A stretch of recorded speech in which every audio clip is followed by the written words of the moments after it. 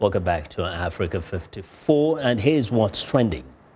Artists now have the privilege of studying a cheetah's every move and um, gesture at uh, very close quarters. Now, the visitors have traveled to the continent to explore some of South and Africa's premier game reserves and national parks for art safari.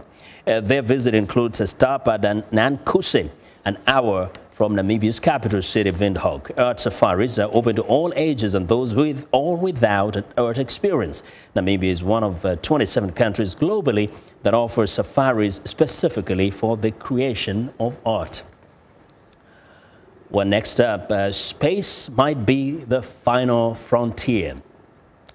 But for young designers in London, it's also um, inspiration for out of this world catwalk fashion. Now, the catwalk show also includes students from universities in Copenhagen, Berlin, Paris, and Milan, all the countries which have provided astronauts for European Space Agency's most recent missions.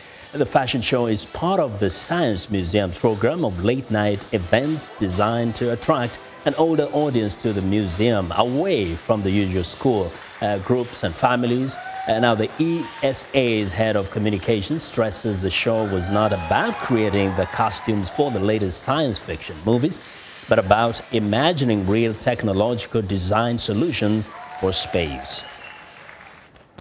Now, this infinity pool is just part of, a part of the new multi-million dollar leisure facilities added to Dubai's landmark hotel, the Burj Al Arab.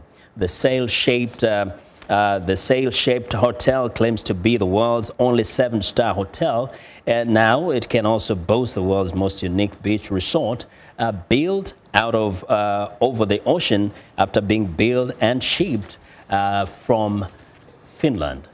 Well, um, the hotel says the terrace has been designed to reflect the shape of a Dubai, of the Burj Al Arab, and gives the effect of a tropical beachside location of a central walkway. There are sandy beaches, uh, pools, and private cabins leading on to an infinity pool.